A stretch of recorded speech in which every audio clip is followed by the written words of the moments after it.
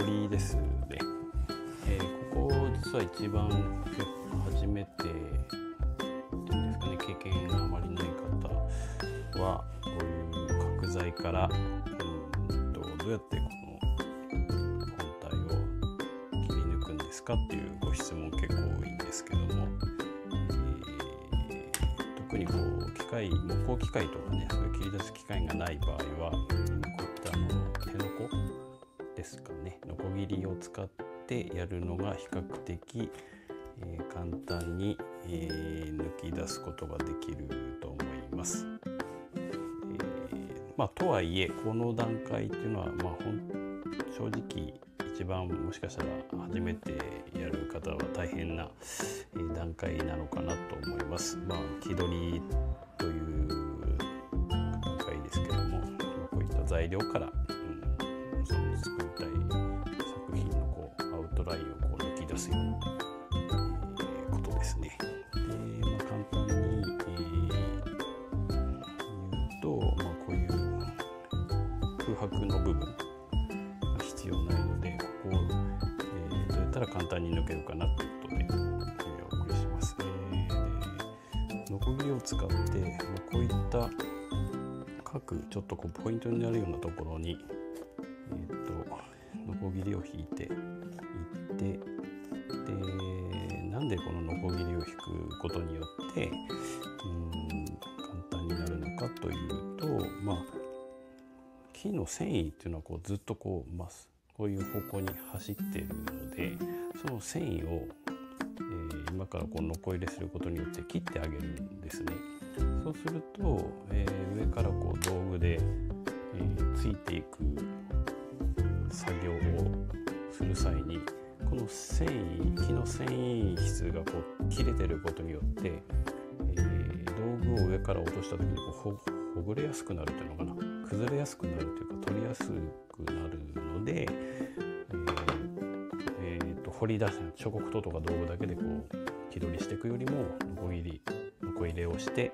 掘り出してあげるととても簡単だという感じになるんですね。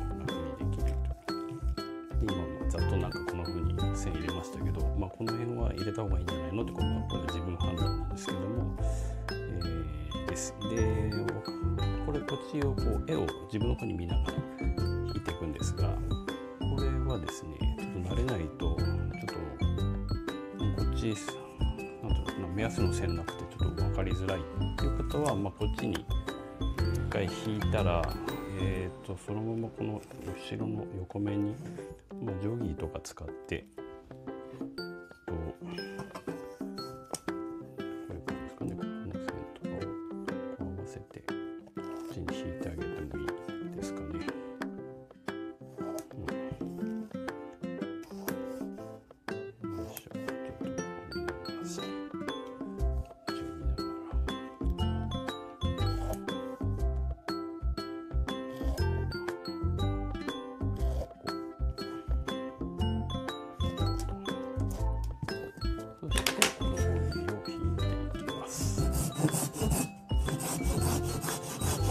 でこのしっかり左手で押さえるというのは結構のこぎりのポイントかもしれませんね。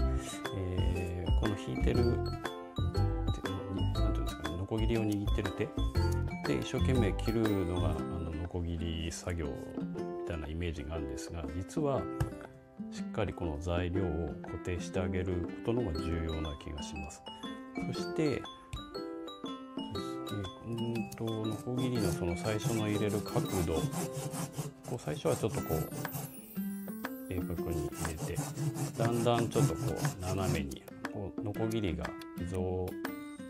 からこう動かないような感じになったら徐々に倒してきてそして平行に。でこれ結構人によって手の癖があって平行に引くのが意外と最初慣れないとちょっとこういう角度だったりこういう角度だったり自分の癖もこう見極めながら引いてあげられるといいかなと思います。こんなですね。そしてノコギリは本当にこのノコギリ本体のこの自重っていうんですかねこれを重さで引いてあげるぐらい軽く本当に軽く握って引いてちょっと時間かかるかもしれないですけど変にこうすごく力入れてググググ押したり引いたりするより実は軽く握ってこの自重で引いてあげるぐらい優しく引いてあげると無駄な力が入るとてもリズミカルにスムーズに切れると思います。まあ、こんな感じでね、えー、今1箇所しか引いてませんけどもここ全部引いて、まあ、反対側も同じように引いてあげてで次こう道具を使って粗取りをしていくっていう風に写っていただけるととても楽なのかなと思います。是非参考にしてみてください。